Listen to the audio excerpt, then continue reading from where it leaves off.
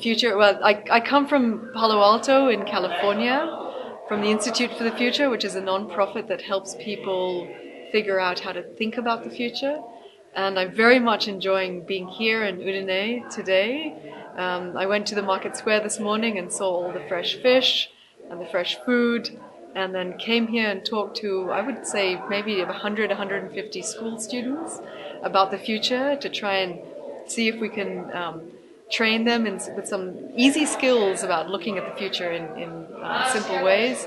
Um, we had a great discussion. A lot of people came in with ideas around the future of 3D printing. One, one girl said she wanted to make print organs from the body. Her teacher said she was thinking about fashioning um, clothes that you could wear if you don't look like a top model.